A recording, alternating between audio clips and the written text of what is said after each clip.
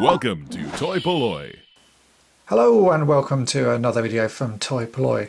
Amongst one of the many things I purchased recently for uh, projects to do on this channel was the Turret and Probot playset. This is something I never had as a kid but always wanted and I managed to uh, pick this one up from a, a, friend that I met on uh, Twitter, Dan Tutil, uh, and I'm pretty pleased with it. The only problem with it is it's absolutely filthy and as a child Dan and his brother really went to town on the, the toy. So it's filthy, it's covered in pen and crayon. You can see there's sort of a purpley green uh, sort of pen colour all over this door.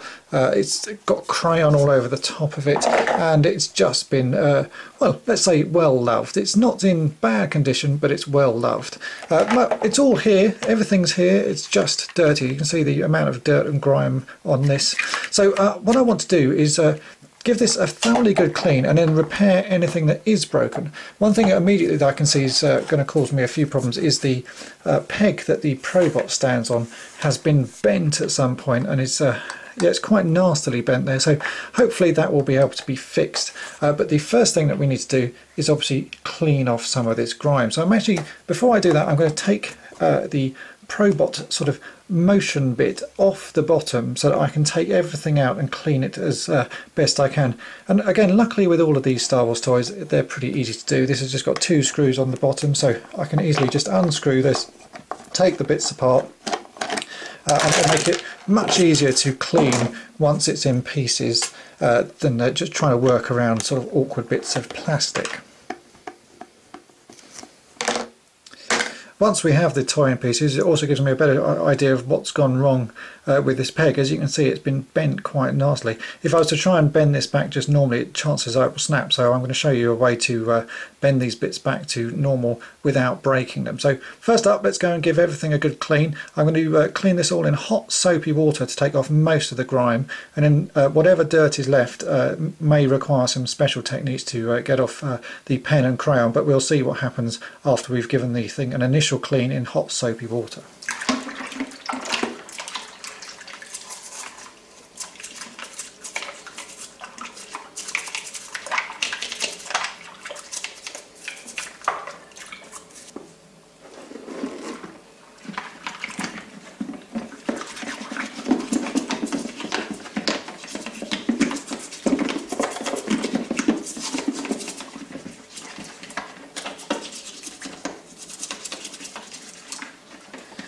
So now I've given everything a good clean. There are still a few small marks all over this uh, base that I want to try and get rid of. So I'm going to use some uh, lighter fluid here and a Q-tip. Just uh, put a little bit of lighter fluid on the end of the Q-tip and you can see on uh, this portion of the uh, base there's some black marks. Now these look more like a sort of pencil or pen so uh, normally if you get a bit of lighter fluid you can sort of quite firmly rub uh, the uh, marks and they will start to shift. As you can see those ones have actually gone uh, pretty easily straight away. It's the sort of stuff that just normal washing won't get rid of and they'll just need the lighter fluid just to sort of help uh, uh, lift it off a bit. So uh, I'm going to do a second pass all over this base now and just take off any extra marks that I can.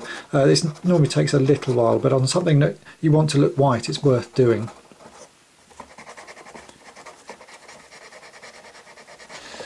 So there we have the base all clean and all the other bits are clean. I got off about 90% of the marks. Most of the dust and stuff was easy, it just washed off uh, with water, sort of hot soapy water and a bit of uh, kitchen cleaner. Uh, there are a few marks left. There's some staining here on the bottom which is uh, a pen or marker pen or something. So uh, in the future I may try and uh, remove that using the uh, Oxy spot cream that I've shown you in previous videos for re removing stains from plastic. Uh, this plastic seems fairly similar to the stuff that uh, the Oxy works best on so uh, yeah when I've got a bit more time I think I'll probably go back and do that but overall the base is actually looking a lot better.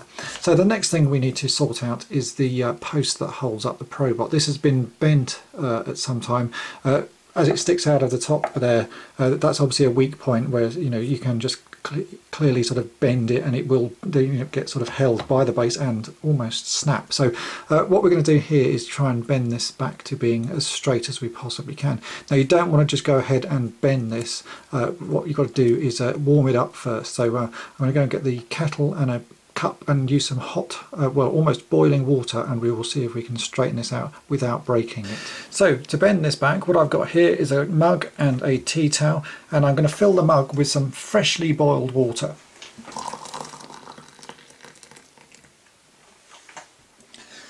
So if you're going to do this, do be careful. This is hot water. And what you've got to do is you've got to dunk this bit of plastic in the water just for a short amount of time. You don't want to dunk it in for too long because you can damage the plastic. Just want it long enough that the plastic starts to soften. Quickly dab it on the tea towel so you're not getting covered in boiling water. And you can then gently start to bend this back to the correct shape. Do this slowly. Don't do it all in one go. Just do it little bits at a time. As you can see that's already starting to get straight again. So dunk it back in the boiling water.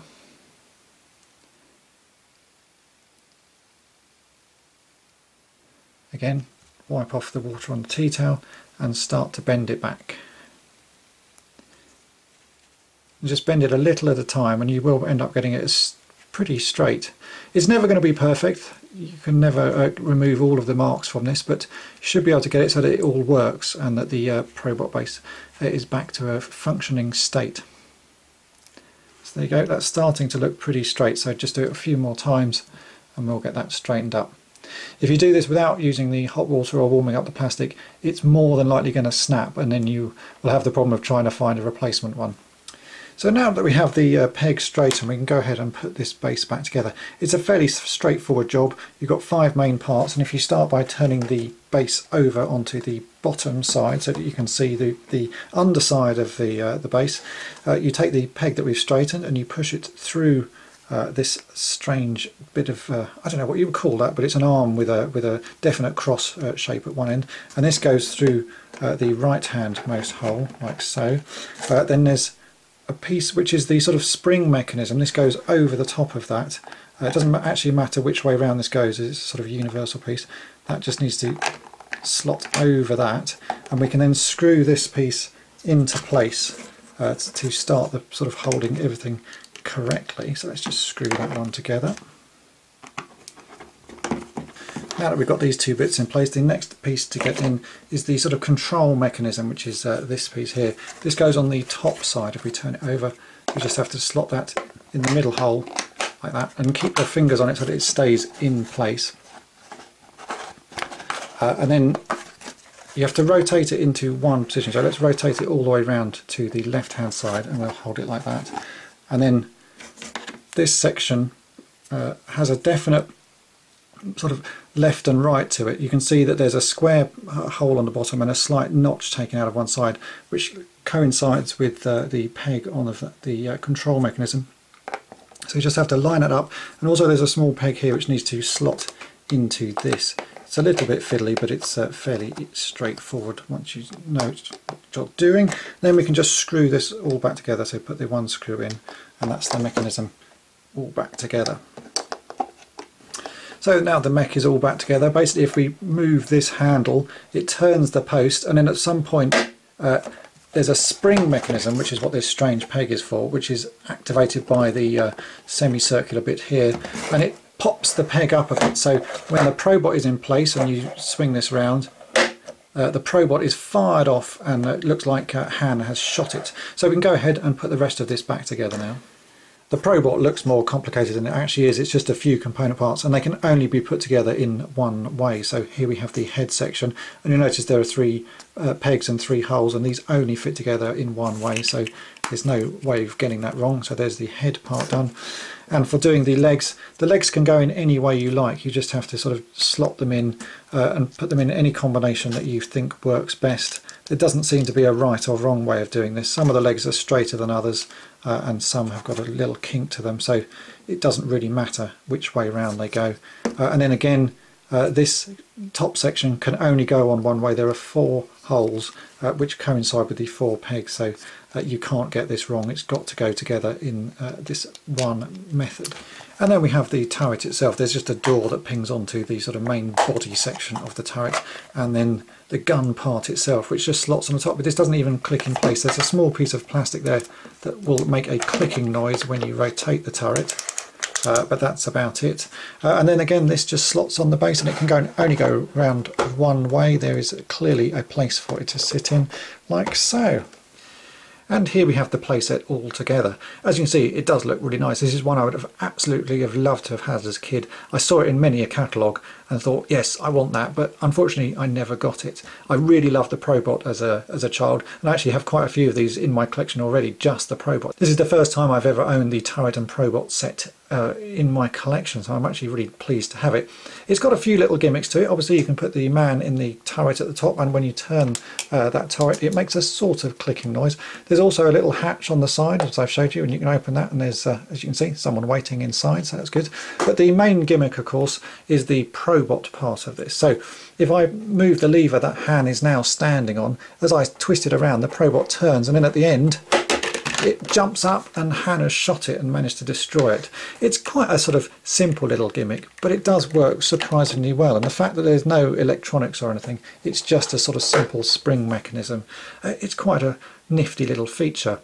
There are uh, there is one other Hoth playset that you can get, um, which would be quite nice to have along with this because then you can have a, a bigger scene. But as it stands, I do like this playset. Very nice and it's pretty easy to fix as you saw. So if you ever buy one of these and it's got the uh, bent post on it uh, that's probably the worst thing that you're going to have to fix. Everything else is just bits of plastic that will need cleaning. So I hope that video has been of interest to you and thanks for watching. Thanks for watching Toy Polloi subscribe for more great videos. You can also follow Toy Polloi on Twitter and Facebook